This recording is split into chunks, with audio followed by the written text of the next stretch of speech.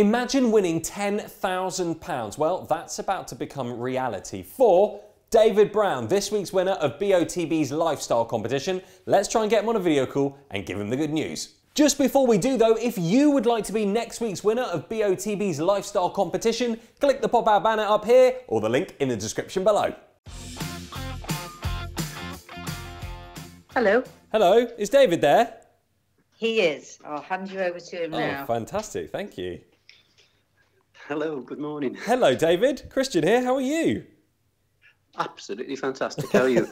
I'm very well, thank you. I'm very well. Uh, David, whereabouts are you in the world? Denbigh in North Wales. In North Wales, fantastic, excellent. Uh, the reason why I'm phoning you, you probably know this is going to be good news because that's what we do here at BOTB. You entered into the BOTB lifestyle competition last week. Did you find the question easy? Yes, actually. Oh, did you? Okay, well that's yeah. good. You, do you know quite a bit about football?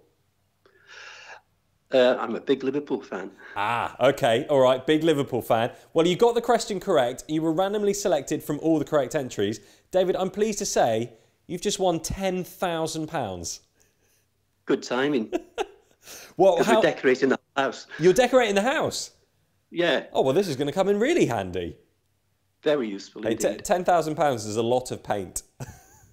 Absolutely. still got to pay the decorator. Uh, you still got to pay the decorator. And anything yeah. else you'd like to spend some of the money on? Yeah, my my um, youngest son, they're having a baby soon, so. Oh, congratulations! Oh, you're going to be a granddad.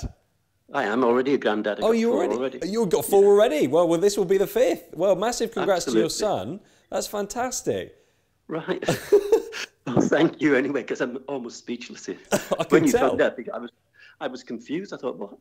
BOTB? Why are they phoning me? Well, I've also yeah. seen that you play the um, you play the car competition, don't you? Absolutely. Well, fingers crossed for the car next, David. Super.